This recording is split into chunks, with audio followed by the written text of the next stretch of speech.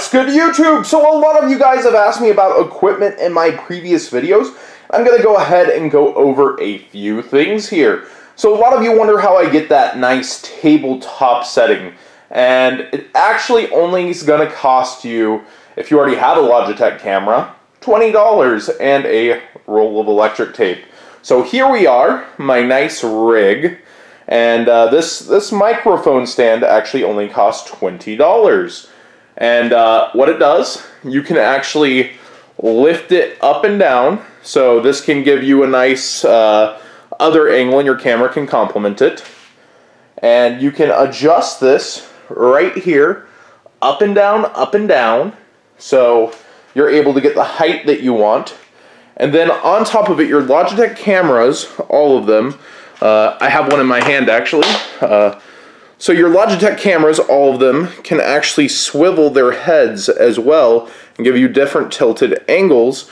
Uh, but you want to still tape the base firmly to the end of your microphone stand. And it also can uh, swivel here as we'll show you on my tabletop cameras. I have to shout out Alinthio for the Logitech C930 advice, and we'll get into how that works here in a second. But uh, Originally, I started with the Logitech C920 for my overhead camera, and I still use them for my player cameras. And uh, it will work for you in controlled lighting situations, but this was definitely a needed upgrade for streaming regionals, and we'll get into this. But overall, this is a $50 on sale Black Friday item slash Cyber Monday.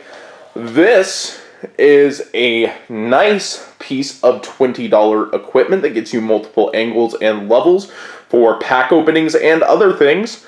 And uh, this is $100 if you want the upgrade and you cannot control your lighting. And the microphone, you can get a Snowball for 50, the Nessie I got for 70, and a Blue Yeti on sale Black Friday is 100, but usually 120. Uh, the microphones on these really are terrible. Do not use the microphones on these.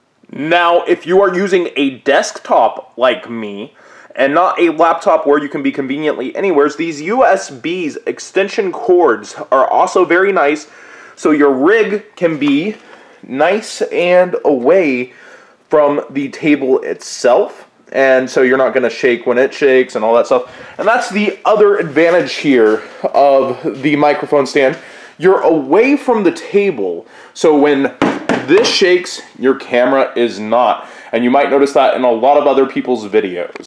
So now what I'm going to show you on my desktop is what the C930 has to offer for the $50 higher price point that you probably need as a duelist uh, if you cannot control your lighting. And I have to again say Alinthio is the one who showed me this camera, and it is absolutely amazing. So here we go over into the settings, and uh, we can configure the video input. Now, look at all these awesome things here. We have brightness, contrast, uh, hue, saturation, sharpness, gamma, white balance even, uh, gain. And then we go over to camera control. We actually have zoom. Like, look, we can zoom. Uh, we can focus uh, differently. Um, we have all these things exposure uh, you have a lot of things and then we have pan and tilt one other thing to note about XSplit and OBS is that it likes different kinds of cameras in the input.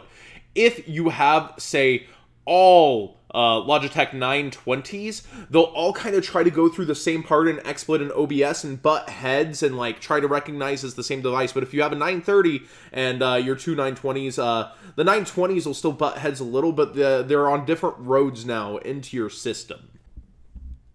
And trying not to be too loud or move too much, this is my Blue Yeti, which is a $100 uh, mic, as I mentioned, 120 off sale.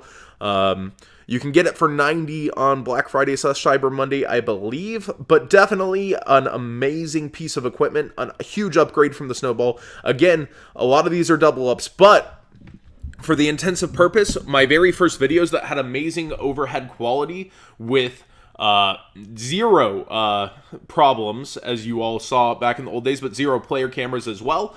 So all these investments together, a $20 microphone stand, a $3 roll of tape, uh, a $50 mic itself, and a $50 web camera, you can get the same uh, kind of quality of my first duels for $125. And I kind of had this selfish perception of, oh, this is a trade secret. These are kinds of the things I've learned through time. But after realizing everything, I want the entire community to have the best kind of content that we can have. Because if I create my own competition, I'm going to continue to get better. And I'm always going to continue to get better. And I think our production quality as a whole in the community should be really good. No more shaky duels. No more anything. You don't have excuses. This is a $23 fix for your web camera to be up. And you could probably even do it with a regular camera if you were had enough tape, but that would be really annoying to do over and over. So that's why I suggest the web camera because you're never going to be removing it probably. So thanks for watching guys. I hope this didn't bore you too much if you're kind of he always here for videos, but I wanted to show exactly how I get my angles, exactly why my upgraded equipment is better, but what you can get for just you know about 125 to uh, 50 dollar pieces of equipment the camera and the mic, the $20 stand, and a $3 roll of tape. That's $123 and then $20 of extension cords. So for less than 150, you can start getting those kind of high quality duels. So thanks for watching. Hope you guys enjoyed this. Uh, if you guys uh, you know, do anything amazing from this, please always support the Patreon because I do like the help. But uh, another way you can support me, if you could get some amazing duels using these angles, send them on in and I will feature them if they are awesome. Thanks for watching, guys.